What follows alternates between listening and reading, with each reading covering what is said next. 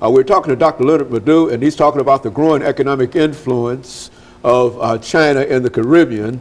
And uh, Dr. Madu, I might add, you're giving us some extraordinary information and recalling to mind some of the uh, old controversies that uh, have been going on for a long time, but I now, now think that they are in a new light. Let's continue mm -hmm. our mm-hmm. discussion in reference yeah. to that. So the diplomatic war, you know, between the People's Republic of China, which is now the legitimate government of China, and the Republic of Taiwan, which used to be recognized as the legitimate government of China, continues and this war, you know, has gone to Africa and now it's shifted to the Caribbean.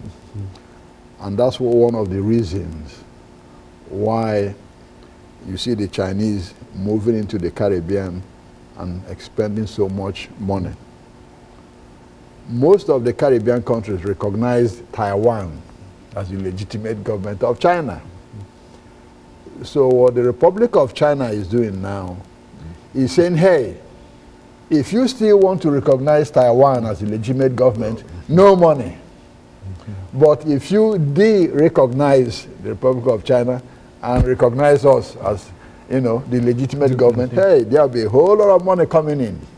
So what happened? A lot of, you know, countries in the Caribbean who had diplomatic relations with, with, Taiwan. with Taiwan mm -hmm. broke off diplomatic relations and recognized the People's Republic of China as a legitimate government. So China said, okay, you recognize us, here is the money. Okay? Countries like Haiti, which has had a long-term relationship, you know, with Taiwan, said, no, we're not going to de-recognize Taiwan. We'll still recognize Taiwan. But if you want to do business with us, you're welcome.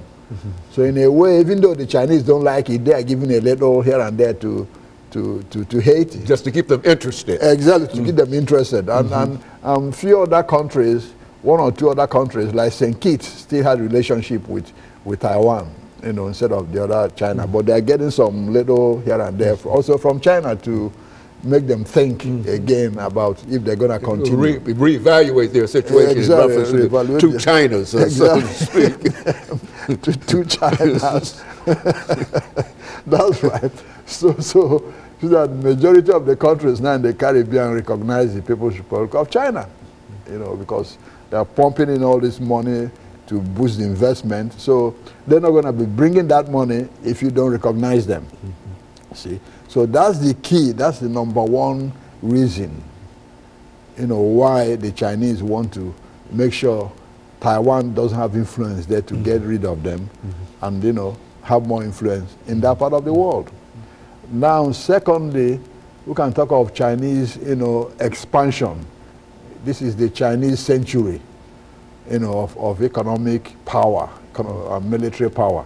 So now China is trying to throw its weight around you know, say, yes, we, we have money and we want to use it to help other countries. And that's competition. They're competing with, you know, the United States, Britain, and other colonial powers. now, third, a lot of these countries in the Caribbean, and in Africa, when they ask themselves, they say, well, are we better off getting money from China? Mm -hmm. Are we getting, are we better getting money from the United States or Britain also? Mm -hmm.